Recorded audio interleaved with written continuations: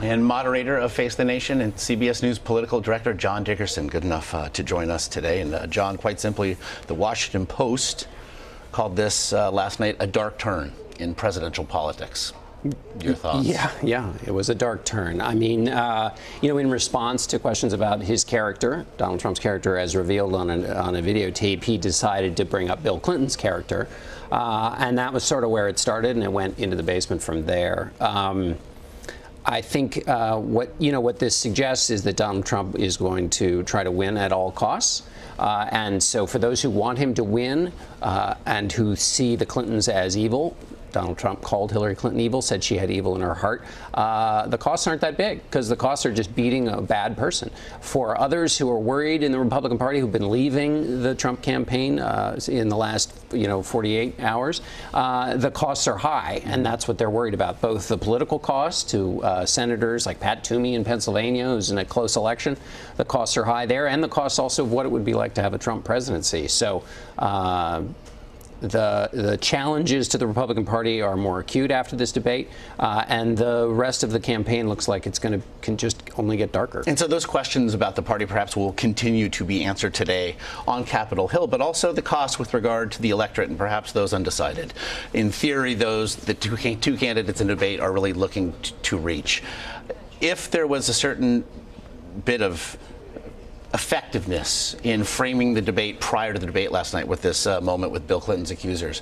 What did you make of it in terms of uh, an effort to broaden his appeal? There was, that's not going to broaden his appeal.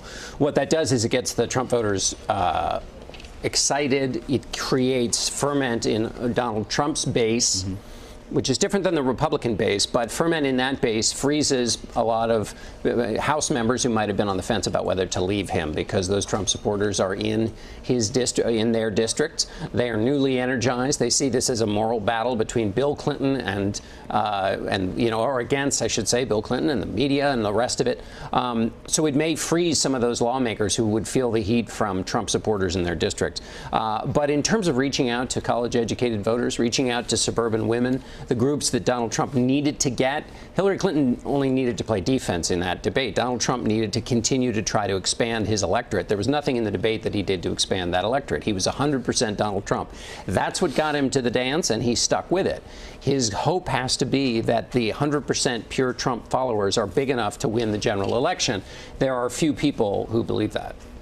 There was an apology leavened with suggestions it was just locker room talk, leavened with promises to defeat ISIS. Uh, but this was a joyous reference to sexual assault. Uh, was his dealing with it last night, was that enough? Well, it depends. You know, we aren't the, the, the arbiters of whether it's enough. Um, the, the gleeful um, uh, and enthusiastic description of success uh, being a sexual assaulter and, and, and having uh, relations with women who are married uh, has was was what created a lot of people, uh, you know, leaving uh, support for his candidacy. Um, but whether you know he did enough last night, there was certainly Mike Pence said he wanted to Donald Trump to show his heart in the debate. There was there was none of that, and and Rudy Giuliani uh, compared him to St. Augustine, uh, uh, who wrote confessions about his life turning away from sin to one of contrition um, and penitent remorsefulness. There was none of that in the debate either. So Donald Trump just made a choice. Um, and so his, his choice and his, his decision is that um, nobody's going to care about uh, what he calls locker room talk. Uh, even and and uh, that's the bet he made, and he made it pretty clearly. He didn't try and really fudge it. Governor Mike Pence had given Donald Trump, really the campaign, perhaps a, a night it needed. It, it, he, he, had stopped the bleeding previously with his performance at the uh, at, at, the vice presidential debate, and then we see last night uh, Donald Trump break ranks with his own running mate. Rather unusual. Uh, to say the least. Uh, what did you make of that decision? Well, it's more improvisation by Donald Trump, particularly on foreign affairs. Um, uh, Mike Pence says he's okay with it. So um, I think uh, Um, it might have been notable in other times. Uh, it is a um, kind of par for the course here, and uh, probably will the, the, the campaign conversation will move on.